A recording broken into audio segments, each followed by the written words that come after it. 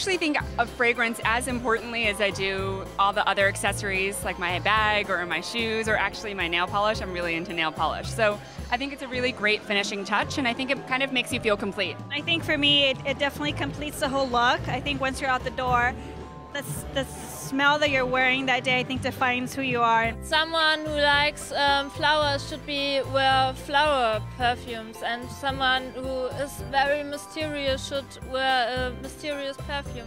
Just should fit your character. I feel like fragrance kind of ties in the mood and the feeling. So I usually use about three different perfumes. And if I'm feeling, you know, a bit playful, I'll wear one that's a little bit more fruity. If I'm feeling a bit more sophisticated, I'll wear one that's, you know, a different scent. So I feel like a fragrance kind of completes your outfits and really sets the mood to it as well.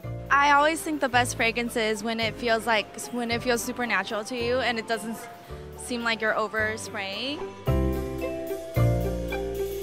I mean, I think beauty and fashion and fragrance are all intrinsically linked. I think it goes hand in hand. I think, you know, fashion, you need fragrance in order to complete the overall look. You know, I think fashion is just about making yourself feel beautiful and comfortable and confident.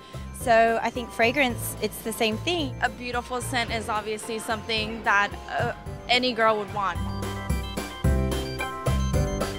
The Marc by Marc Jacobs girl is that downtown girl, it's that New York girl, wherever she lives. She loves to mix colors and patterns and experiment. Somebody who's really fun, confident, goofy at the same time.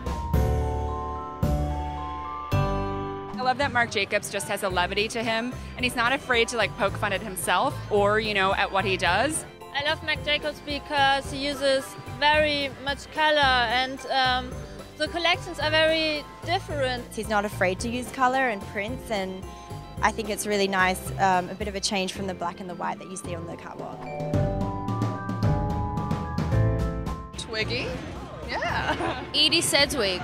I really like Mira Lama. Bonnie Strange. Bonnie Strange has a very unique style. I think the best thing though is that if everyone can find the icon in themselves, I think that's the most beautiful thing to do.